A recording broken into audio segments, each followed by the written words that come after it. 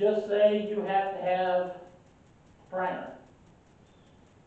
Uh, the only difference is the purple primer, the, the inspector or the person that's doing the, uh, the code enforcement officer will be able to look at it and see if there's purple on it, then he knows it's been primed. That's the only difference. It all works the same. Purple makes a bigger mess. That's the, that's the bad part about it. You can use these, go around, especially when you're above grade, you wanna really make sure that they're, they're prepped, ready to go, and clean, because it will, it will make a huge difference on your, on your parts when you glue them together.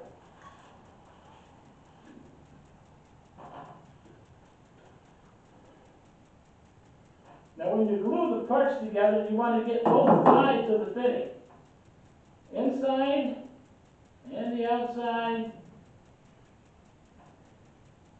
And the pipe that you're going on.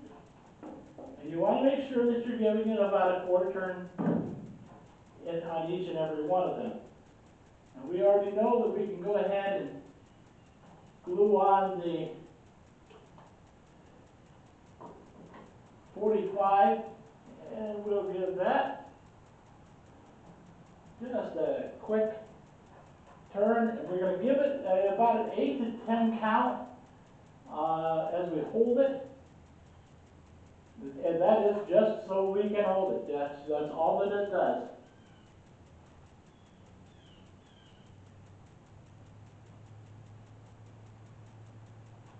All right. Go ahead and glue this pipe on because we can move the other end.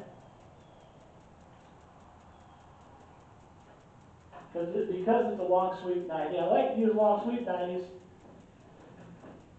whenever I can. Just so they, just, oh, typically because they work better. They're a little bit longer. It helps to ensure everything uh, runs smooth, runs down smoothly, especially in some, some of the spots that are, are mandated that you have long sweep 90s. All right, we're gonna go to the other end.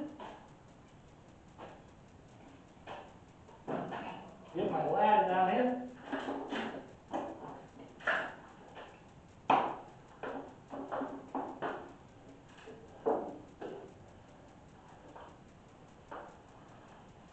And again, we're gonna glue. Try to glue each fitting. We have, we, we know we have pitch across here, we stuck a level on it earlier to, to make sure that we have, uh, the quarter inch bubble, or the, the uh, quarter inch per foot drop that is required by all code.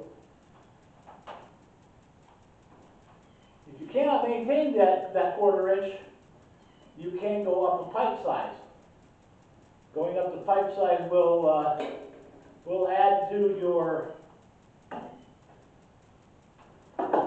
drop and, and not, not clog.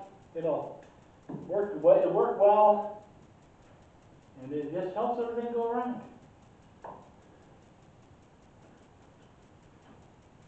Get this one glued on.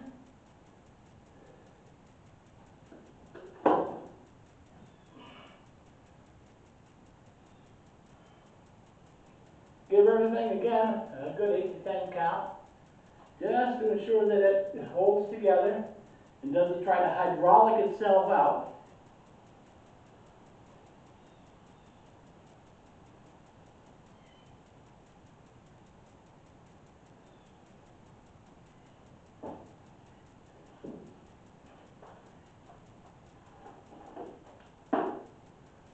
Now what we've done is completed their, our circuit for our air. The air can get all the way around.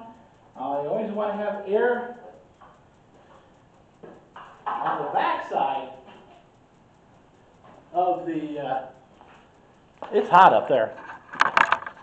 You always want to have air on the backside of your, of your project. So as you see, as you can see, let me swing you around just a hair, right like that. Use my tape measure to point. Our, our water line, our drain line comes in across here. Has a forty-five there, a long sweep ninety down here that comes up to this two-inch T fitting. Uh, then it continues up this way out through the roof. It then comes across here to this two-inch Y that is picking up our uh, laundry basket.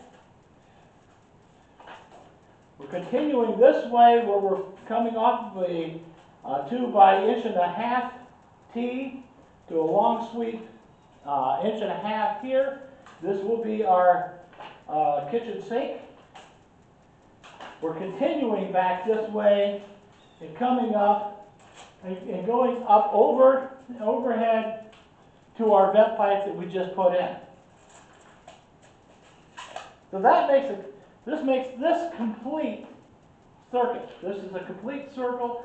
Air can get anywhere behind our water. And that's all the vent trap does is put air behind the water.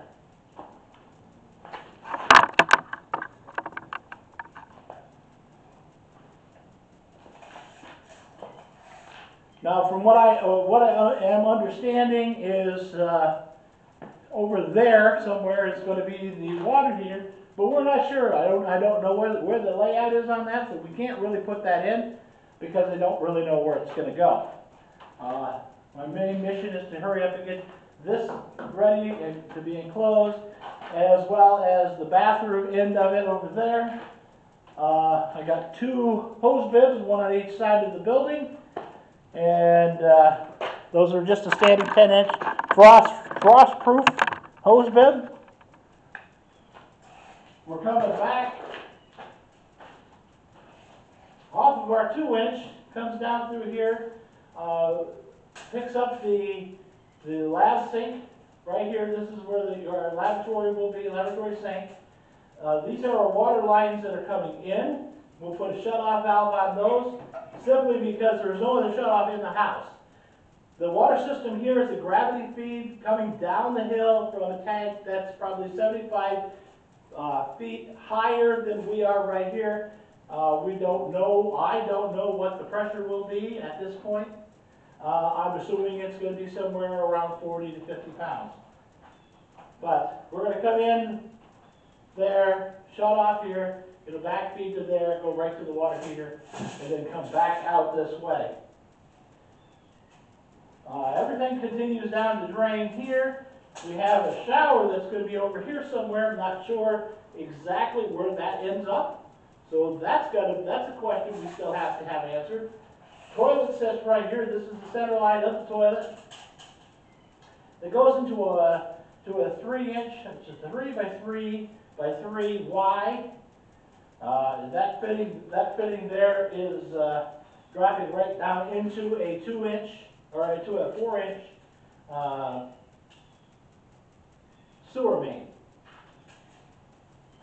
So we brought that up there. We'll have our toilet sitting here. Here's our supply line that's just six inches off the center line, uh, sticking out here. These are the water supplies for the lab sink. The, the lines for the shower are just laying here at this point. Uh, uh, we know that on this wall right here will be the shower control, but I don't even know what that is. I want to get this pipe to go out, up through the other side, so that is also vented there. So everything, all, all in all, should be, should be just about ready to go.